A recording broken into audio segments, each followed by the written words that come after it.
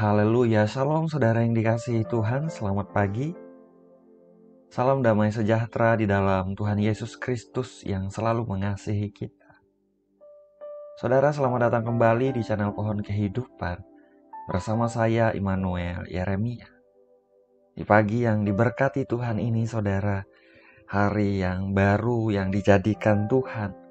Mari sama-sama kita siapkan hati kita untuk mendengarkan perenungan firman Tuhan dan kita berdoa bersama.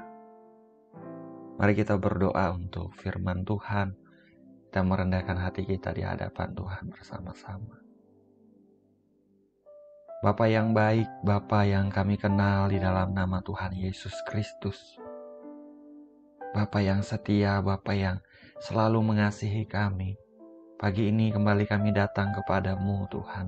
Kami mengucap syukur untuk pemeliharaan perlindunganmu di sepanjang istirahat kami di malam yang berlalu.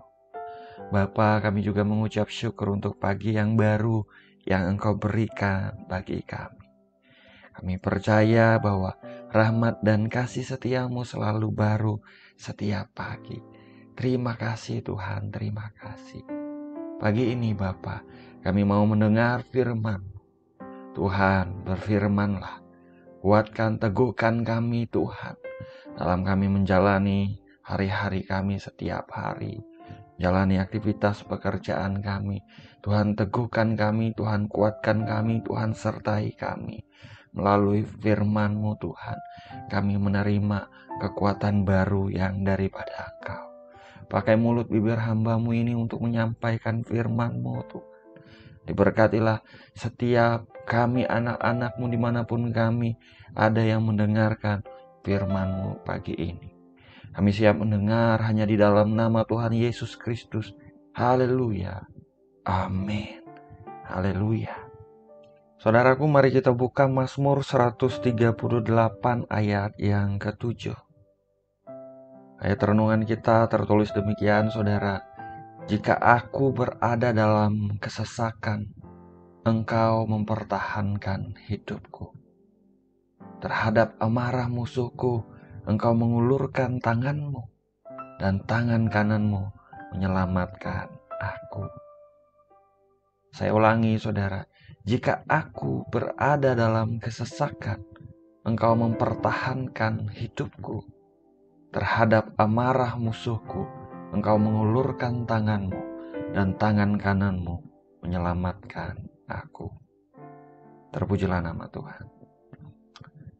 Saudara yang dikasihi Tuhan, di dalam hidup ini saudara siapa pun kita, baik kita seorang jemaat biasa, baik kita seorang pelayan Tuhan atau seorang hamba Tuhan, atau seorang pendeta sekalipun, saudara seorang pester sekalipun, siapa pun kita, selama kita masih bernapas dan hidup di dunia ini, saudara. Kita semua memiliki masalah dan tantangan di depan kita. Bahkan tidak jarang, saudaraku, ada banyak dari kita menghadapi kesesakan yang berat di hidup ini. Ada yang menghadapi kesesakan di area keuangannya, ada yang menghadapi kesesakan di area kesehatannya, saudara. Dia menghadapi sakit penyakit di tubuhnya. Ada juga yang menghadapi kesesakan di area pernikahannya. Ada konflik di dalam pernikahannya. Ada masalah di dalam hubungannya dengan pasangannya. Di area apa pun itu di hidup kita, saudara. Kalau ada di antara kita pada pagi hari ini yang sedang menghadapi kesesakan di hidupnya, pada pagi hari ini saya mau ingatkan setiap kita bahwa saudara dan saya, anak-anak Bapa di sorga, kita memiliki Bapa Tuhan yang setia di hidup kita, saudara. Dia adalah Tuhan yang sekali-kali tidak meninggalkan kita. Dia sekali-kali tidak membiarkan kita. Tuhan Bapa kita yang baik, Dia mengasihi kita, anak-anaknya, saudara. Oleh sebab itu, pada pagi hari ini saya dorong setiap kita, tetaplah taruh kepercayaan dan pengharapan kita kepadanya, saudara.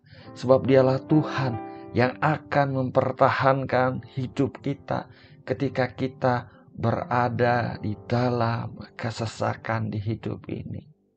Di ayat renungan kita pada pagi hari ini, pemazmur berkata, "Jika aku berada dalam kesesakan, Engkau mempertahankan hidupku."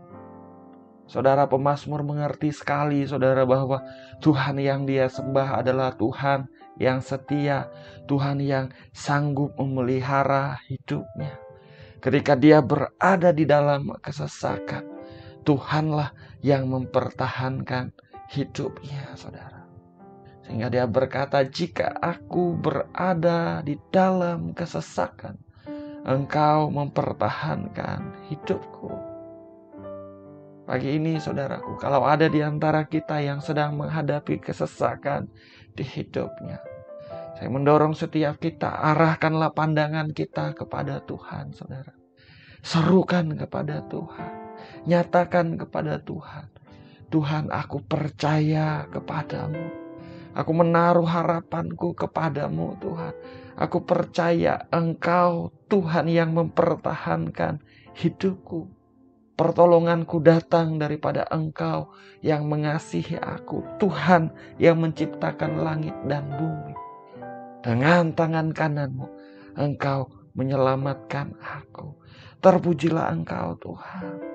Nyatakan dengan iman saudara. Nyatakan kepadanya bahwa kita percaya kepadanya. Kita percaya, kita menaruh harapan kita akan kasih setianya.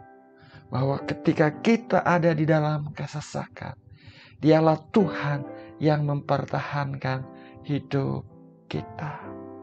Haleluya. Dalam anugerah Tuhan yang besar, saudara. Tuhan pasti bertindak. Walaupun kita tidak melihat dengan mata kita, namun dia Tuhan yang sedang bekerja, saudara. Dia tidak kekurangan cara untuk bekerja. Dia bekerja dengan caranya yang ajaib. Dia menjadikan segala sesuatu indah pada waktunya, saudaraku. Pengharapan kita di dalam dia tidak mengecewakan. Dia Tuhan yang mempertahankan hidup kita. Haleluya. Saya berdoa setiap kita pada pagi hari ini dikuatkan, diteguhkan.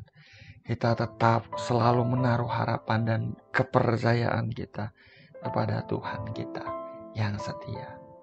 Mari kita berdoa saudara. Bapak yang baik, Bapa yang setia, Bapa yang kami kenal di dalam nama Tuhan Yesus Kristus. Pagi ini kami datang kembali kepadamu di dalam doa. Kami datang dengan ucapan syukur. Kami berterima kasih Tuhan untuk setiap hal yang baik yang Engkau kerjakan di hidup kami. Kami bersyukur Engkau tidak pernah meninggalkan dan tidak pernah membiarkan kami sedetik Engkau selalu ada di pihak kami di dalam Kristus Yesus Tuhan yang telah menebus kami.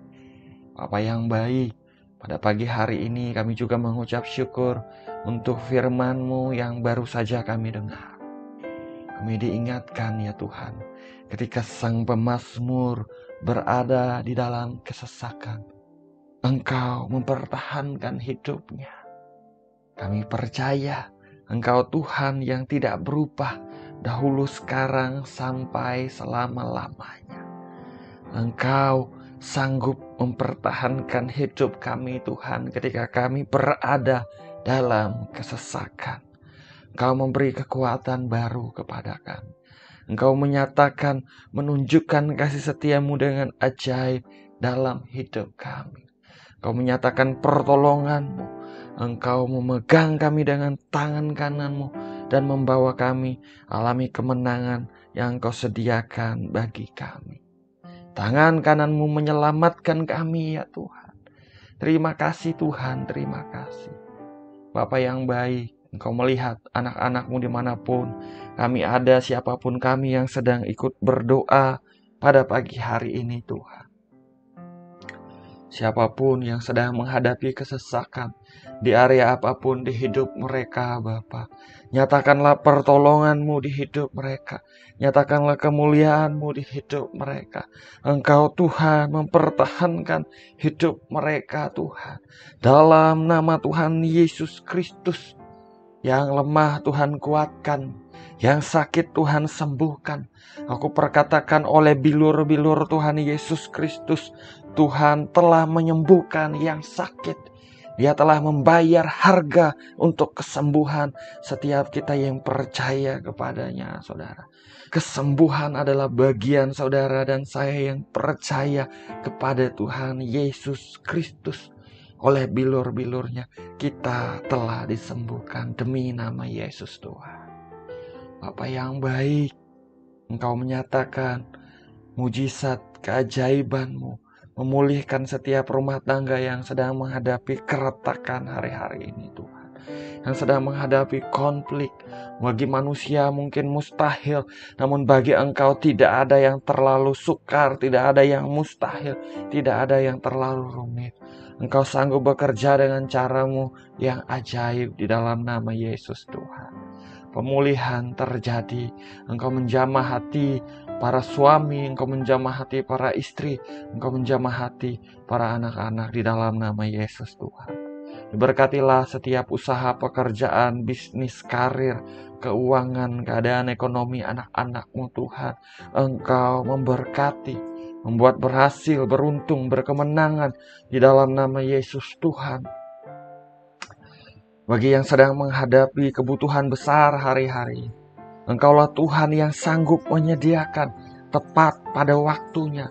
Kami domba-dombamu tidak kekurangan sebab engkaulah gembala kami yang baik yang menyediakan kebutuhan domba-dombanya. Terima kasih Tuhan, terima kasih.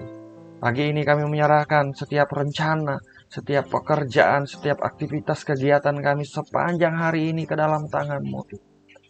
Biar engkau memberkati kami sepanjang hari ini Biar engkau memelihara hidup kami, melindungi kami, menjauhkan kami dari yang jahat, menjauhkan kami dari tragedi yang buruk, menjauhkan kami dari kecelakaan apa pun. Kami menolak setiap serangan-serangan roh jahat, setiap niat orang jahat kami pukul mundur dalam nama Tuhan Yesus Kristus. Kami ditudungi dengan darah Yesus. Kami dipagari dengan anugerah Tuhan seperti perisai. Terpujilah namamu Tuhan. Ini doa kami, ini ucapan syukur kami, ini permohonan kami, ini pernyataan deklarasi iman kami. Kami percaya Engkau mendengar doa kami, Engkau sedang bekerja, Engkau memberi yang terbaik kepada kami sebab Engkau tahu yang terbaik bagi kami anak-anakmu. Syukur bagi Engkau Bapa yang mengasihi kami. Segala pujian, hormat, dan kemuliaan hanya bagi Engkau. Hanya di dalam nama Bapa, Putra, dan Roh Kudus, yaitu di dalam nama Tuhan Yesus Kristus kami berdoa. Kami mengucap syukur, haleluya. Amin. Amin. Amin. Haleluya. Saudara kita sudah berdoa, saudara. Ingat, bahwa Bapa kita Bapa yang setia saudaraku dialah Tuhan yang mempertahankan hidup kita ketika kita berada dalam kesesakan. Ada pertolongan ada keselamatan yang daripada Tuhan saudaraku. Pandang dia taruh harapan kita kepada dia. Tetap puji dia di dalam segala keadaan saudara. Nyatakan iman kita kita percaya kepadanya. Kita menaruh harapan kita kepadanya. Dia sungguh Tuhan yang setia. Dia sanggup melakukan perkara-perkara ajaib di hidup kita. Terpujilah nama Tuhan. Doa saya menyertai saudara, saya ucapkan selamat pagi. Selamat beraktivitas saudaraku. Pagi hari ini di tempat saya sedang hujan saudara. Ada berkat Tuhan tercurah bagi setiap kita. Terpujilah nama Tuhan. Dia Tuhan yang mengontrol, menjamin kehidupan kita saudara. Haleluya. Setelah saya menyertai saudara, saya ucapkan selamat pagi, selamat beraktivitas. Tuhan Yesus memberkati. Haleluya.